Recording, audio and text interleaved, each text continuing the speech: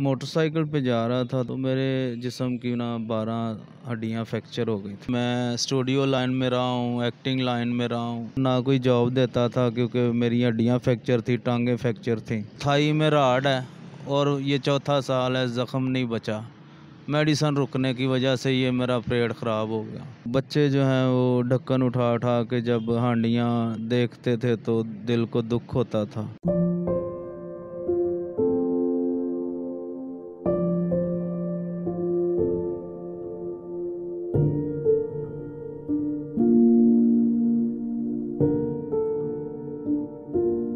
असलम नाजीन daily point के साथ मैं हूँ आपका मेज़बान जुनेद आदिल। जोकर, हमारे मुआरे का एक ऐसा नाकबले फरामोश किरदार है, जो बच्चों, बूढ़ों और बहुत से उदास लोगों के चेहरों पर खुशियाँ बिखेर देता है। जोकर तो लोगों से मज़ाक करता है, लेकिन ज़िंदगी ने जोकर के साथ क्या मज़ाक किया है कि इसने खुद को क्यों लोगों से यूँ छुपा लिया? कभी किसी ने यह जानने की कोशिश नहीं की। आज मेरे साथ एक ऐसे जोकर मौजूद हैं, जो माजूर हैं। इन्होंने ग्रेजुएशन कर रखी है। आज से कुछ अर्सा पहले एक हादसे के दौरान इनके जिसम की बहुत सी हड्डियाँ टूट गई। इस सारा दिन व्हील चेयर पर बैठ के लोगों के चेहरों पर खुशियाँ बिखेरते हैं और अपना रोज़गार कमाते हैं। ये सारी कहानी है क्या? आइए आपको इन्हीं की ज़ुबानी सुनाते हैं। असल जी। जी वालेकुम सर सबसे पहले बताइएगा क्या कैसी तबीयत है आपकी? जी अल्लाह का शुक्र है जिस हाल में भी हूँ बहुत शुक्र है। सर मुझे बताइएगा कि ये हादसा आपके साथ पेश कैसे आया? ये मैं मोटरसाइकिल पे जा रहा था तो ट्रक के साथ मेरा एक्सीडेंट हुआ था। तो मेरे जिसम की ना बारह हड्डियाँ फ्रैक्चर हो गई थी, जिसकी वजह से तीन साल मुसलसल चारपाई पे रहा हूँ और चौथा साल आठ माह ऊपर हो गए इसकी वजह से बहुत ज़्यादा क्राइसिस आए हैं और बच्चों की एजुकेशन भी रुक गई है। रेंट भी मकान का इतना ज़्यादा चढ़ गया। तो कारोबार कोई है नहीं था, ना कोई जॉब देता था, क्योंकि मेरी हड्डियाँ फ्रैक्चर थी, टांगे फ्रैक्चर थी। इस वजह से फिर मुझे मजबूरन ये जॉकर का काम करना पड़ा। घर के हालात काफ़ी ख़राब हो गए थे। तो बच्चे जो हैं वो ढक्कन उठा उठा के जब हांडियाँ देखते थे तो दिल को दुख होता था। फिर मजबूरन जो है मुझे फिर ये गेटअप अपनाना पड़ा। इतने बुरे हादसे के बाद मौत के अलावा सिर्फ़ एक ही आवाज़ हो सकती है जो इंसान को उठने पर मजबूर कर दे। ऐसी कौन सी आवाज़ थी जिसने आपको उठने पर मजबूर कर दिया? जी बिल्कुल आपने बहुत अच्छा क्वेश्चन किया।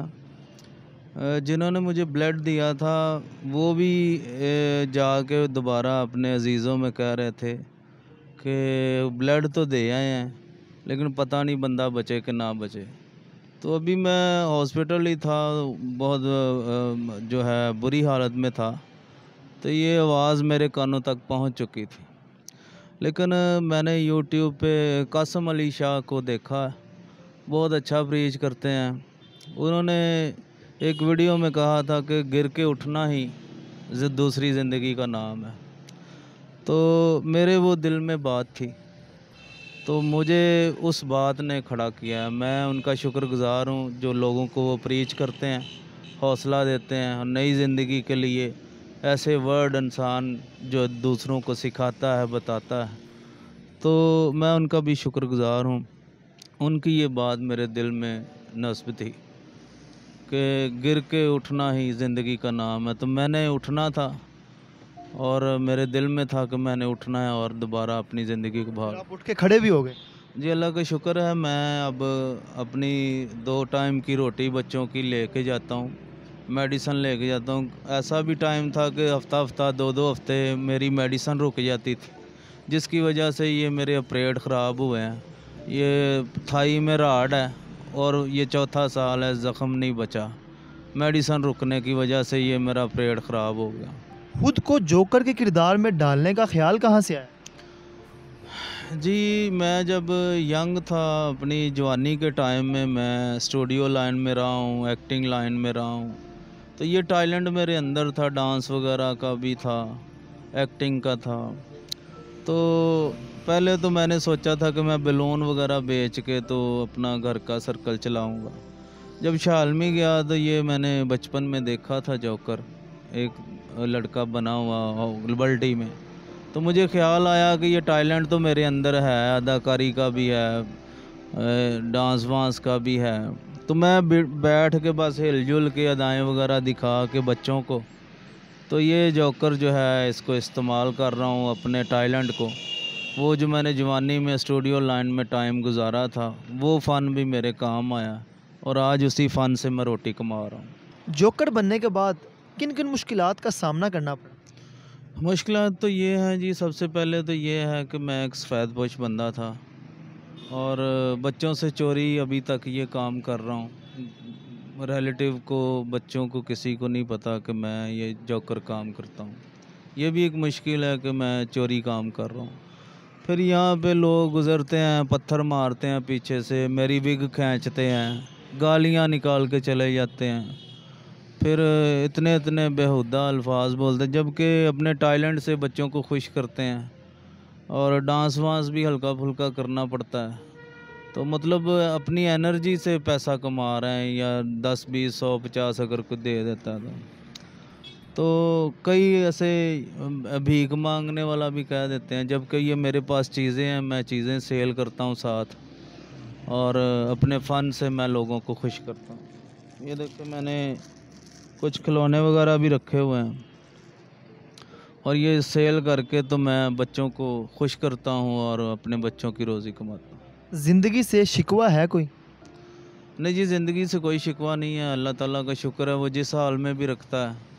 मैं उसका शुक्रगुजार हूँ। वो जो कहावत थी कि अल्लाह ताला अगर मुश्किल डालता है तो वो उसे काटने का भी अदा करता है? अदा करता है और अल्लाह का शुक्र है कि अगर उसने डाली है कोई आजमाइश आई है मेरे ऊपर तो मैं उसे काटने का भी उसने मुझे फ़न दिया। मदद के लिए जितने भी साबित इस्तात लोग हैं जो आपका ऑपरेशन करवा सकते हैं उनसे क्या अपील है आप? उनसे अपील ये मैं करना चाहता हूँ कि अल्लाह ताला ने आपको बहुत ज़्यादा नवाजा है। और जिन लोगों को अल्लाह ताला ने बेशुमार नवाजा हुआ है, वो कतरा कतरा भी निकालें तो मेरे हालात बेहतर हो सकते हैं और मेरा इलाज हो सकता है। तो मेरी रिक्वेस्ट है कि आप जो भी अपना हदिया वगैरह डोनेट करना चाहते हैं, वो मुझे हेल्प करें और ताकि मेरा इलाज हो सके और कर्ज़े जैसी लानत से मैं बच सकूँ। बहुत शुक्रिया मेरे साथ इस वक्त ये जोकर साहब मौजूद थे। और जोकर तो इस माजूरी के बावजूद भी आप तमाम लोगों के चेहरों पर खुशियाँ बिखेरने में मसरूफ़ है। लेकिन इस जोकर के चेहरे पर खुशी कैसे लानी है? फ़ैसला आप लोगों ने करना है। इनका एक नंबर इस वक्त स्क्रीन के ऊपर चल रहा है।